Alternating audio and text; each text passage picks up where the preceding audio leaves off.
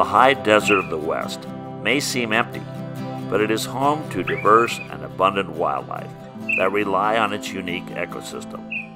The sage grouse is the most famous species to make its home there and nowhere else. This grouse is elegantly adapted to its harsh environment, a superb representative of its sagebrush habitat.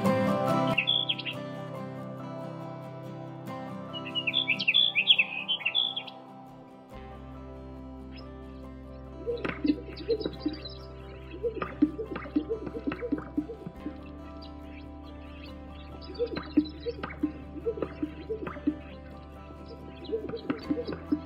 was June 1805. Meriwether Lewis and William Clark were near the confluence of the Marias and Missouri rivers in present day Montana.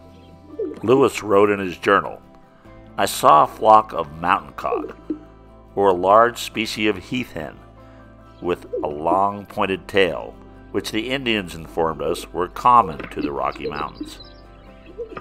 Lewis and Clark continued to write about sage grouse in their journals including a 500 word description on March 2, 1806, that provided information about their distribution in the West. Every spring, male sage grouse gather on an open piece of ground known as a lek to perform an elaborate display to attract female sage grouse.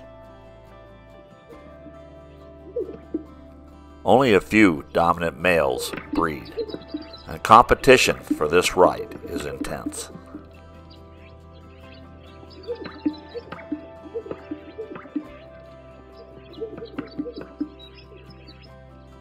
Male grouse, also called boomers, begin to show up on the lek as early as January.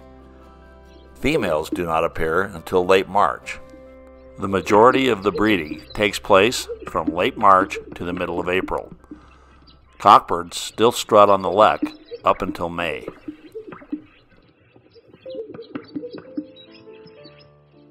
Arrowheads found on sage grouse leks in Wyoming are silent testimony to Native Americans' dependence on the birds over millennia.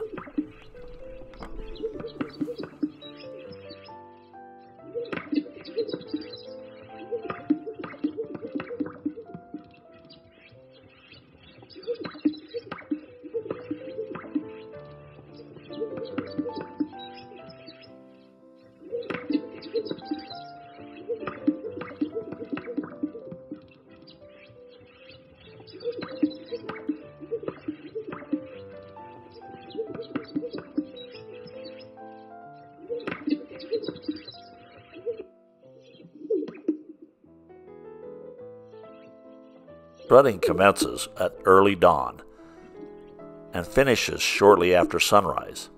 These strict strutting hours are most likely because of the attacks of golden eagles. Golden eagles are familiar with leks, and the strutting sage grouse are an easy target.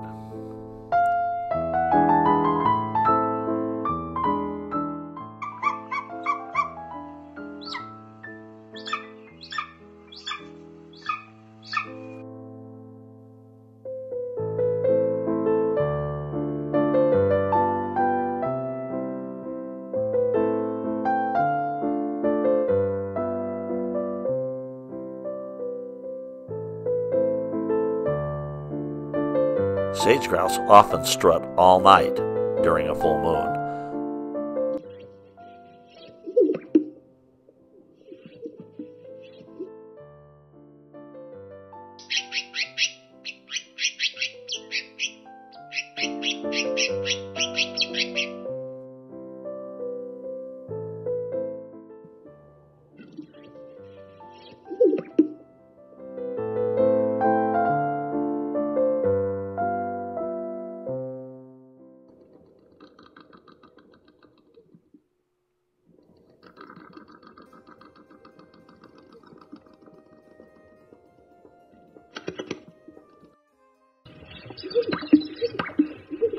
This boomer is missing half his tail, most likely from the strike of a golden eagle.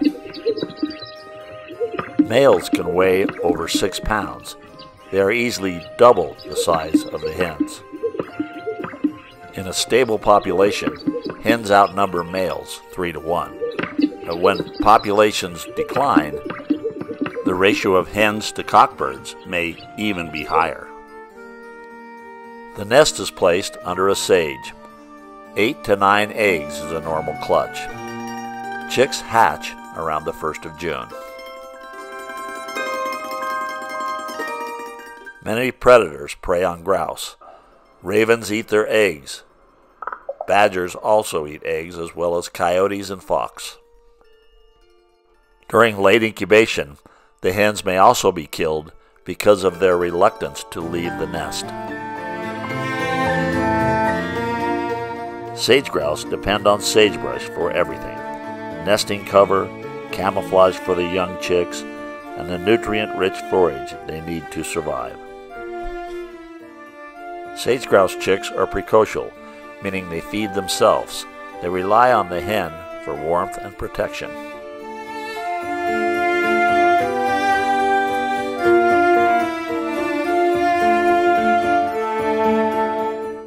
Spring rain is critical for chick survival, providing insects and forbs.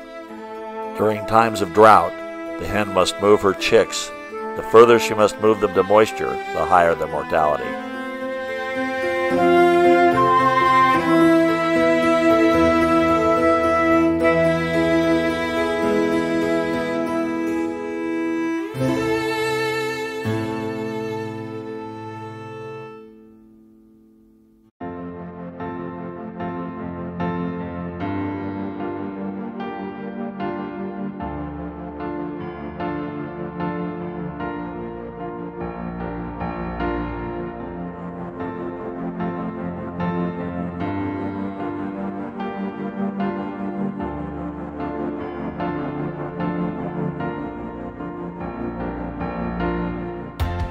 Male sage grouse play no part in the rearing of the chicks.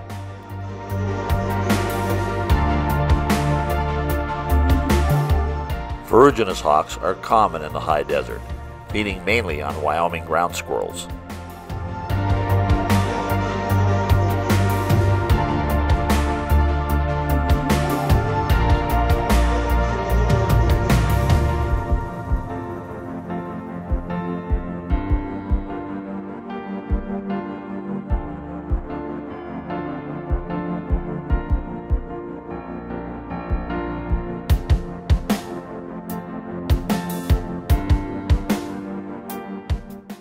Sage grouse chicks hide motionless, while harriers circle above. I have seen hens chase and do battle with northern harriers to protect their chicks. A prairie falcon brings a Wyoming ground squirrel to feed her young.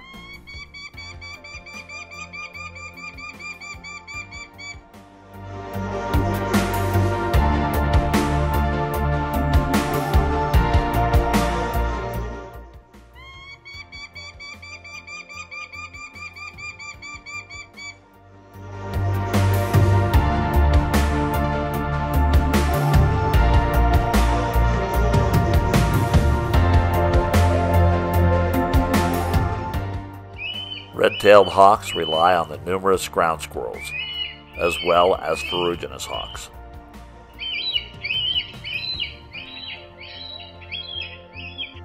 Here a ferruginous hawk swallows a ground squirrel whole.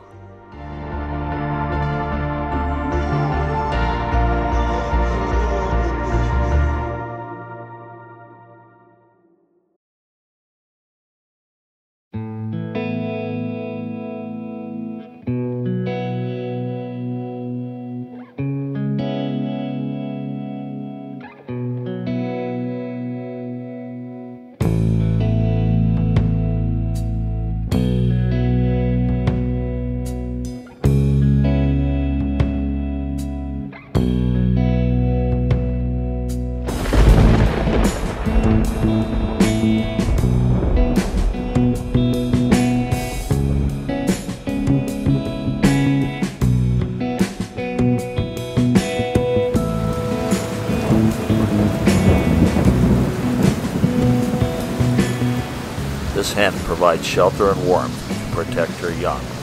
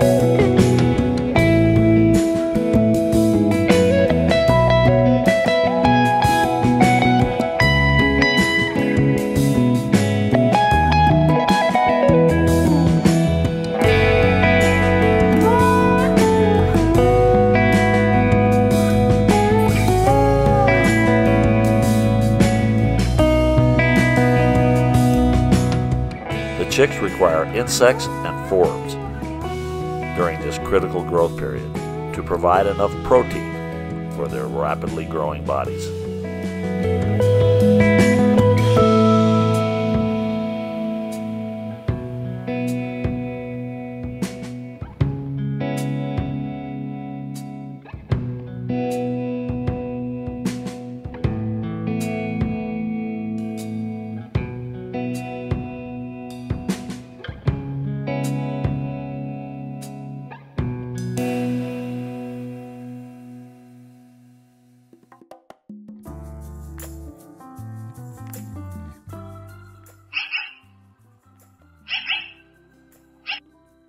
It is interesting to note that female survival of the chicks is much higher than males.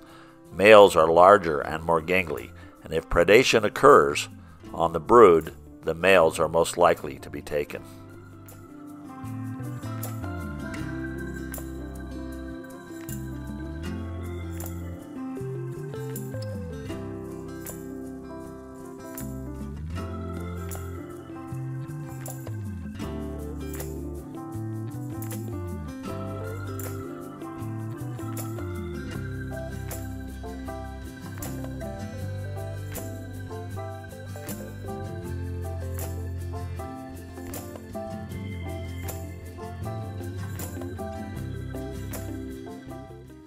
In late summer, broods joined together to form small flocks and also began eating more on sage leaves.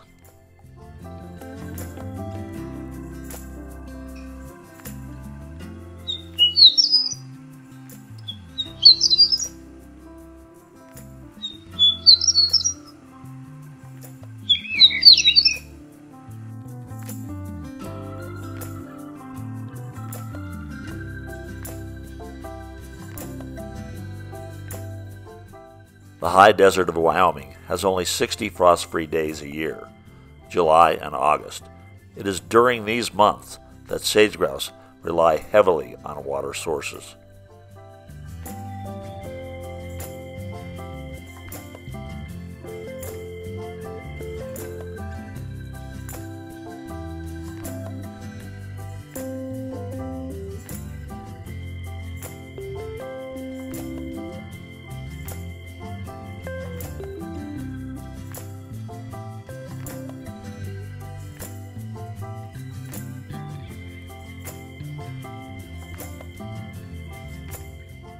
They prefer drinking in open areas where they can keep a lookout for predators.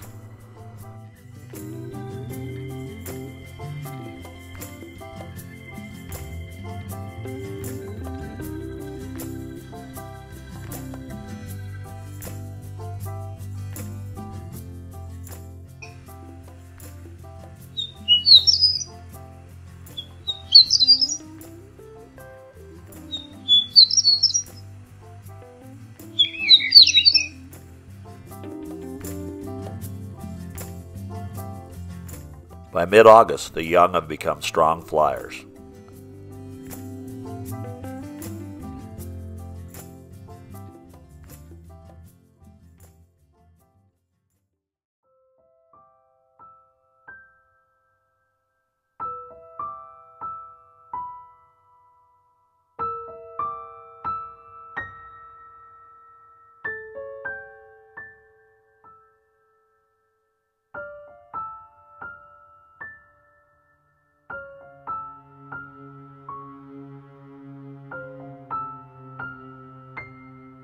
Once snow arrives, grouse are set free from their reliance on water sources.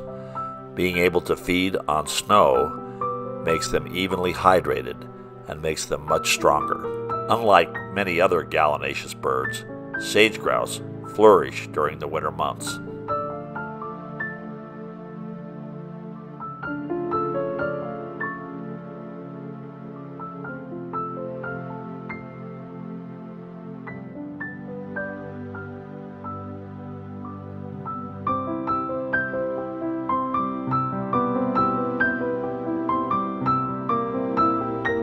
December, grouse begin to gather in large flocks in traditional wintering areas.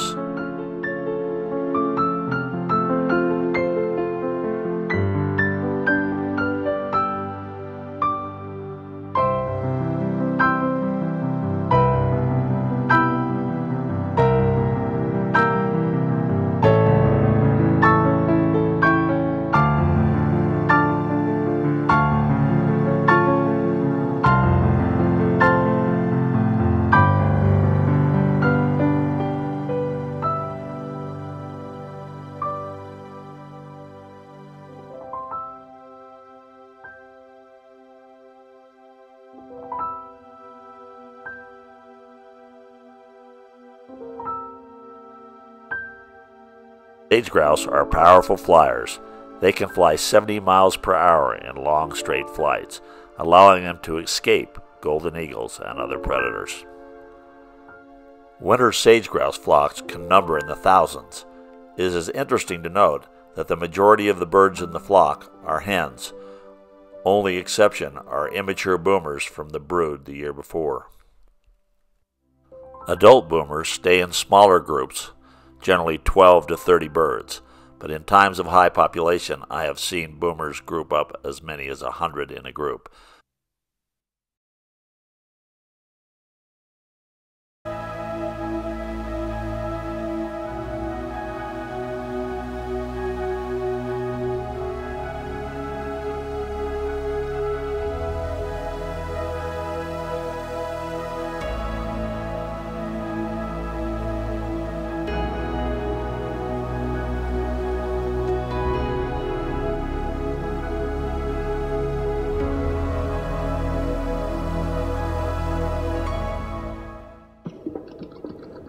Late January, the males begin to posture in preparation for the upcoming breeding season.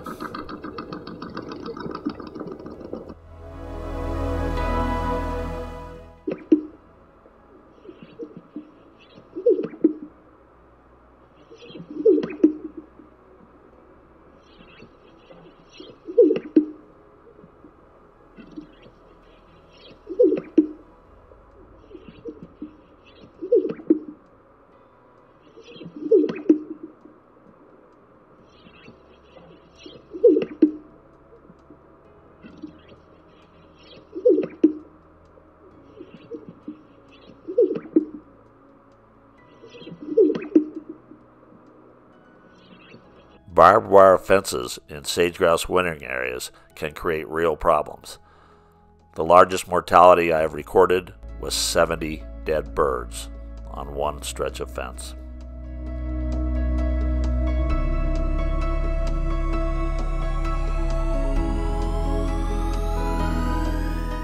I had to do something to correct this terrible problem. I began placing aluminum cans attached to the fence with a hog ring. These made the fence much more visible to the grouse.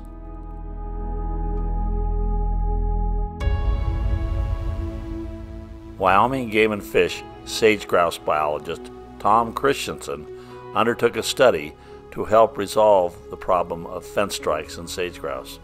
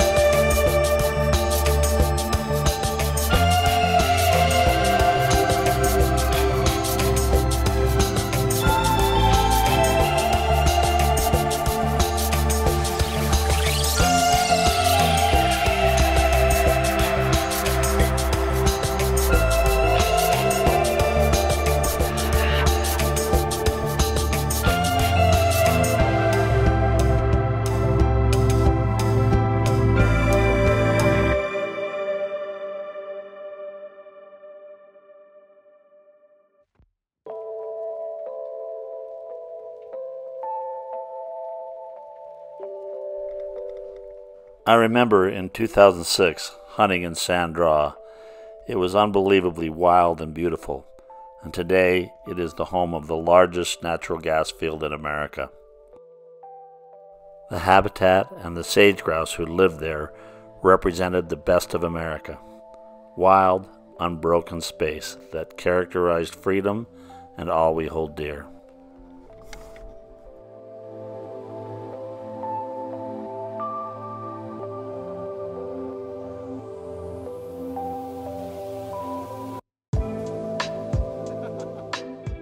High desert of Wyoming is one of the last strongholds of the sage grouse.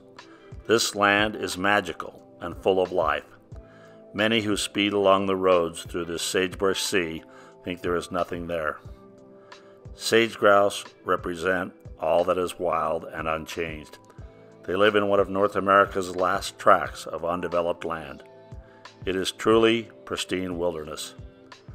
A feeling of sadness comes over me when I see stakes and red flags, meaning that this beautiful wilderness is slowly being turned into an industrial land. We can only blame ourselves.